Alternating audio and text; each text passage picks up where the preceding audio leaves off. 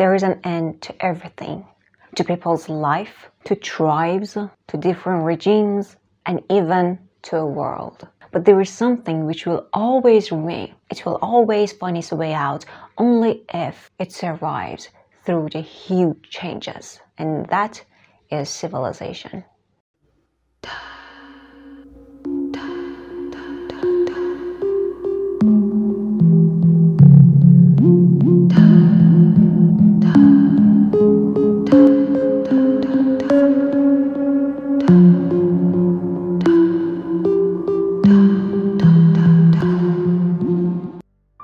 Honestly, I have to say that I didn't think that I'm gonna like this movie. And I was thinking that it's one of those pretentious showing off movies which has a really good cinematography, but it is empty inside. So today I watched this movie and I was thinking that wow, it was really good. Actually, I haven't read the novel, but I'm definitely going to. So today's movie is Dune, and I'm gonna give you an analysis and a review by all the information I could gain through watching this movie.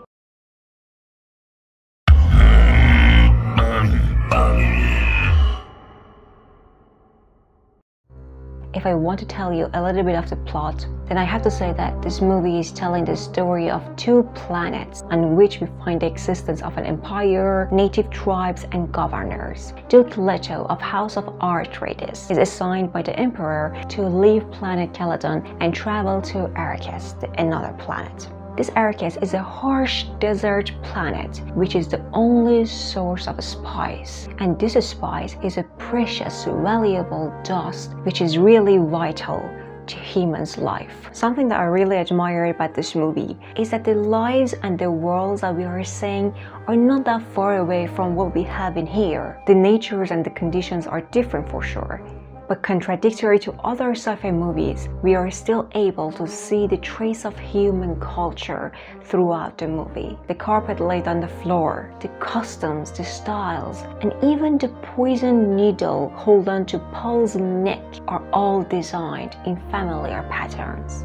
In fact, the medieval and Eastern patterns. Also, this box by which they torture Paul to provoke his dreams just reminded me of medieval torture devices. What's in the box? Pain. And also, the veil that we see in the movie has a religious background. According to what the director has said, he wanted to picture her just like the medieval nuns because he thinks that there is something special about this veil that make them seem something above reality, like it gives them this mysterious appearance.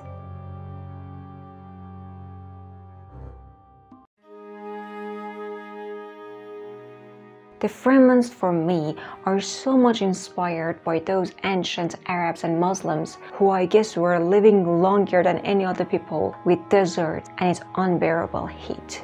The appearance of the Fremens for sure except the blue eyes the scarf they are always carrying for staying away from the sunlight, their beliefs and their stories of a survivor are all the factors that convince me these Fremens are inspired by those ancient Arabs.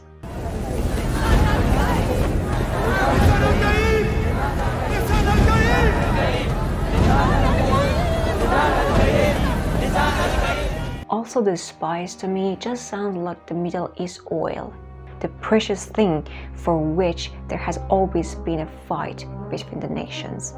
I would also like to talk about Jessica, the mother, the character who is two-sided. One side of her is called as Bene Gesserit, the fighter, the dominant, the controller, the one who decides for the sake of power and the maintenance of the system the part who decides what her child be, which was a special talents and doesn't mind what dangers would follow this child. You know who you are. You know who you are. Get off me! You did this to me! You Bene Gesserit made me a freak! But the other side is a mother. Just an ordinary picture of any mother's. The one who cries and prays for her son who is fragile at some times and would give her life for him. If I want to talk about Paul, I need to say that Timothée Chalamet was chosen for this role really wisely. He has this face of a teenage boy, but there is an intelligence in his manner and talk that brings us closer to this picture that he is a special young boy with a soul as old as an 80 year old man.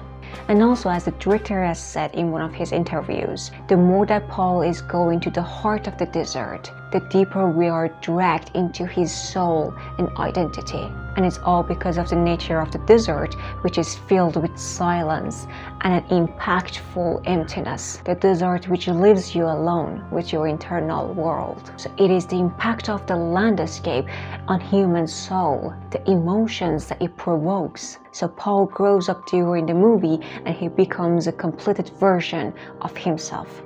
So this was all I could gather about this movie. But maybe I'm gonna give you more information in the next following videos.